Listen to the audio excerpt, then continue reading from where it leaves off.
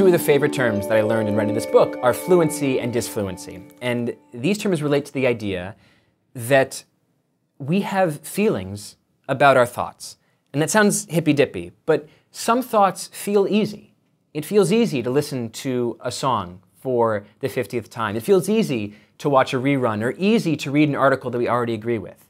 Those are fluent thoughts. Those are, those are thoughts that feel good and easy. But there are also all sorts of experiences, all sorts of types of thinking that feel difficult. And that's what we call disfluency. So, being lost in a foreign country and trying to figure out what all of the signs mean, that is disfluent. Reading an article that is trying to express a position that you consider morally abhorrent, that is disfluent too. But what's most fascinating about fluency and disfluency is how they exist together. So imagine that you're in that foreign country and you're trying to read all of these signs and it's in some Slavic language that you don't speak. And you feel lost and anxious and your, your brain is hurting with all of the, these sort of thoughts that are going through it. And suddenly you turn around and you see an old friend from high school that you immediately recognize knows that foreign language. That is an aha moment. That is a moment where you transition from disfluent thinking to fluent thinking. And there's all sorts of studies that have said that we love these aha moments. We love them in art. We love figuring out art. We love them in storytelling. We love the disfluency of not knowing who the murderer is, and then that moment when, ding, we got it. We know who the murderer is. We even love it, I think, in ordinary, say, political opinion writing. When someone takes a complex subject and expresses it in such a beautifully clarifying way that it's, it's like solving a crossword puzzle for politics. We have click, an aha moment. And I truly think that people are looking for aha moments across the cultural landscape. I think that aha moments are a large part of what we want from storytelling, what we want from a great education, what we want from a great article or a great book. We are looking for both fluency and disfluency, yielding to each other so that we can feel those transition moments that are invigorating and that make us feel like the act of thinking is worth it. One of the oldest findings in psychology history is called the mere exposure effect. And the mere exposure effect says that the mere exposure of any stimulus to you biases you toward that stimulus. So, children who grow up eating more spicy foods tend to like more spicy foods. People who grow up listen, with their parents listening to more jazz end up liking more jazz timbres and more jazz styles. That we have a bias toward familiarity. And I think that this is true both for insignificant tastes, like for food and music, and for profound political tastes.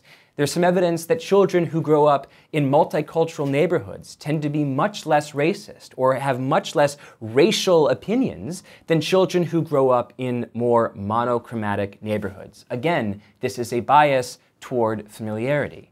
And I think it's very important to think about familiarity bias as a news consumer because there's lots of evidence that shows that the mere repetition, the mere exposure of news to, to us biases us toward thinking that that news item is true.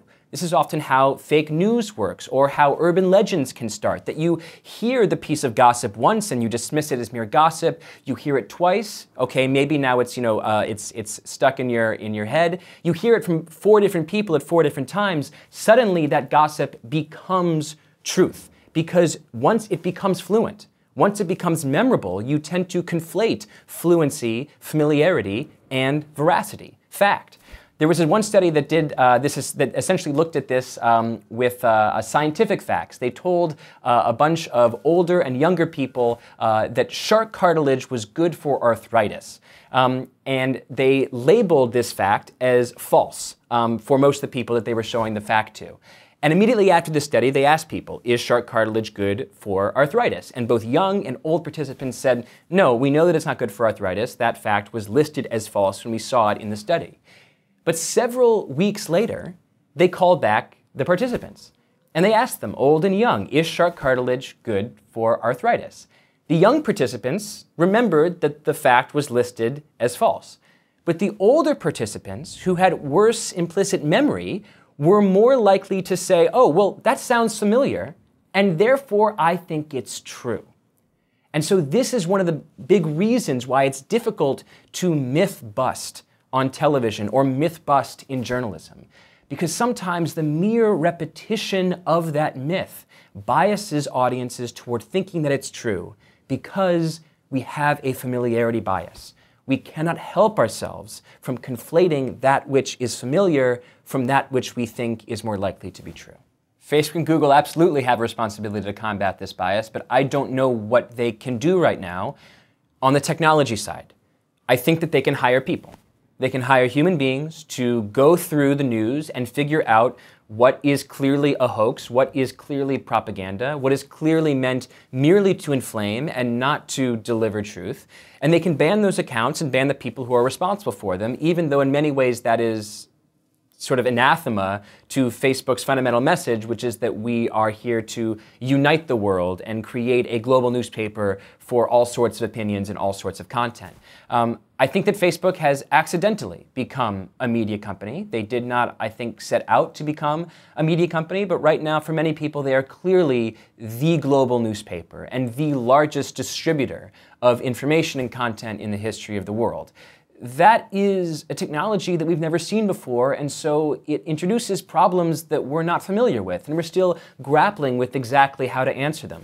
But I do think that fundamentally, the solutions to the problem of fake news on Facebook and other social media sites comes down to human ethics. It comes down to humans, that only humans can fix this problem. We don't have algorithms that can go through and separate fact from fiction. And it comes down to ethics. The reason that there's fake news out there is because there are unethical people who are essentially attention merchants. They are not journalists. They don't want to demonstrate the truth. They don't want to distribute the truth. They want to make money or they want to inflame people's emotions.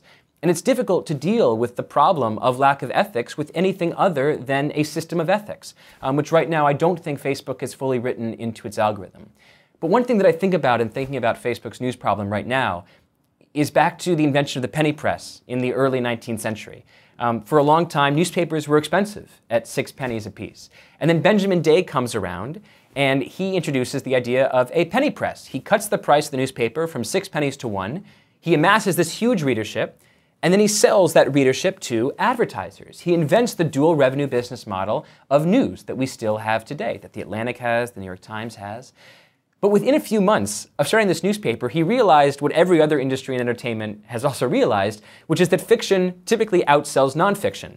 Fiction does better in the movie theaters, fiction does better for books, and fiction did better for Benjamin Day when in the 1830s he introduced a huge moon hoax to the American audience, where he told them that there were uh, Batmen living on the moon copulating with each other in a 17,000 word feature that got enormous readership uh, for his penny press newspaper.